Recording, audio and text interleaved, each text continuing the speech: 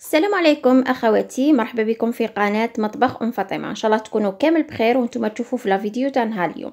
كما رانا نشوفوا يعني اليوم جبت لكم وصفة تاع الكريبوني بذوق الليمون وصفة ناجحة مليون في المية. جربوها في دياركم. أه نتمنى إن شاء الله تعجبكم. نقول لكم ما تنساوش إذا عجبكم الفيديو تاع نهار اليوم دعموني ب like اشتركوا في القناة وفعلوا الجرس باش تتوصلوا بجديد الفيديوهات. ونروحوا الآن نبداو مباشرة في الفيديو. كما سبق وقلت لكم في بداية الفيديو هاد الوصفة تاع الكريبوني ناجحة مليون في المية يعني من أول مرة غادي تنجحوا فيه. آه هذه من جهة ومن جهة أخرى.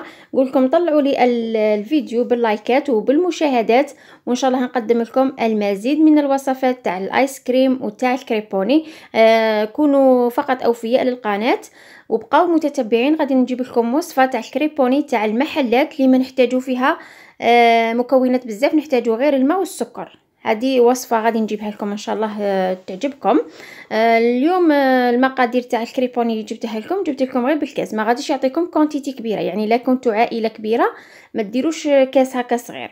هنا ديت 3 4 كاس تاع الماء كما راكم تشوفوا جامد شوية راه داير la glace نخليه في المجمد واحد النص ساعة قبل ما نبدأ الوصفة. هنا عندي نص كاس تاع السكر عادي. أنا مانيش غادي نديرو كاع باه ما يجينيش حلو باه يبقى لي هذيك الذوق المنعش تاع الليمون.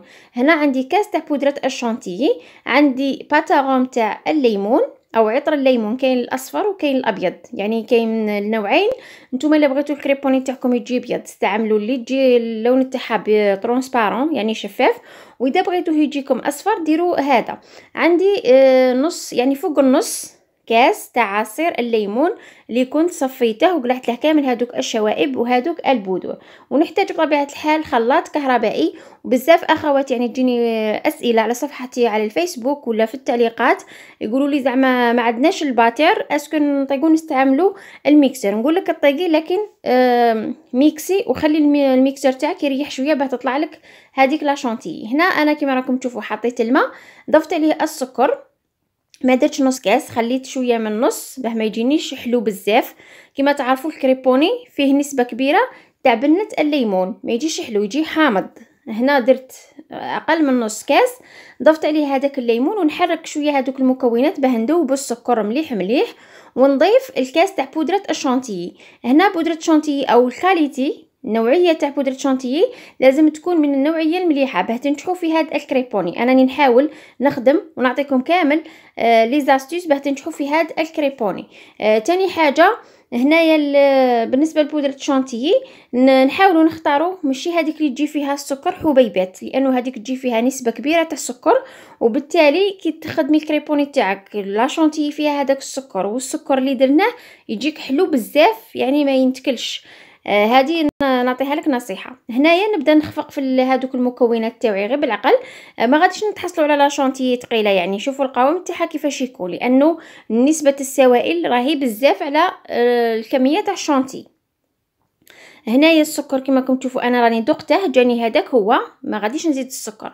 هنايا آه لا بغيتو الكريبوني تاعكم يجيكم صفر بزاف. ديري مقدار تاع نص مغرف صغيرة من ال pâte arôme تاع الليمون. أنا ني باغيته يجيني أصفر فاتح. يعني كما نقولوا حنايا آه ليموني أصفر ليموني لكنه فاتح بالبزاف. غادي ندير قطرة برك ما غاديش نكتر. كما راكم تشوفوا بهذه الطريقة. آه كذلك كملاحظه أخرى الكريبوني ما لازمش نديروه في علبة تاع بلاستيك ونديروه في المجمد ولا في إناء تاع الزجاج. غادي يطول وبالتالي ما يجيكش كريمي. غادي يطول لك في ال congélateur. لازم نديروه في إناء يكون تاع inox ولا تاع الومنيوم يعني هو ماهوش صحي لكن آه على حسب الموجود. هنا كيما رانا نشوفوا بعد ما خلطت هذاك ال pâte arôme مع هذاك الخليط تاعي هنا ديت إناء تاع inox آه، غسلته مليح ونشفته ما فيه ولا قطرة تاع الماء ونحط هذاك الخليط تاعي. هنا قلت لكم يعني كما تعرفوا الليمون مع الالومنيوم ما يتقابلوش لكن آه الأخوات اللي ما عندهمش معليش ديري علبة تاع بلاستيك آه واحتفظي بالكريبوني تاعك. هنا فقط باه نسرعوا عملية التجميد.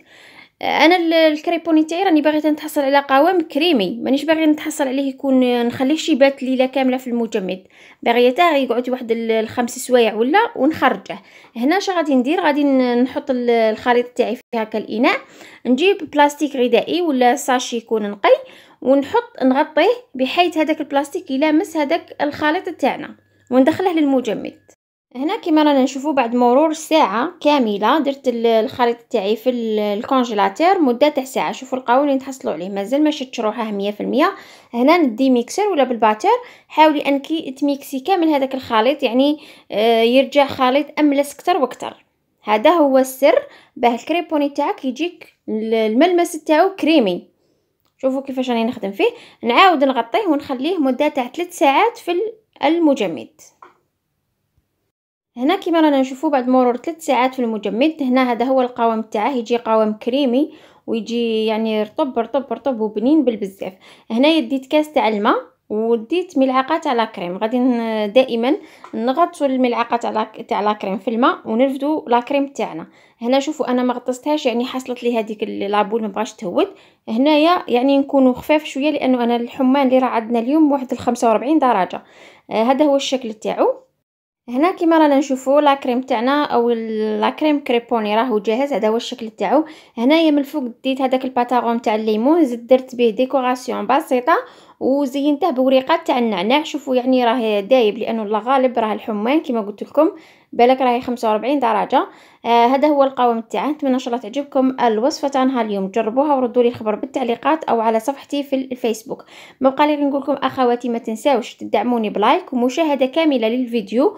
ونقول لكم اشتركوا في القناة وفعلوا الجرس باش تتوصلوا بجديد الفيديوهات. ما بقى لي نقول لكم إلى الملتقى إن شاء الله.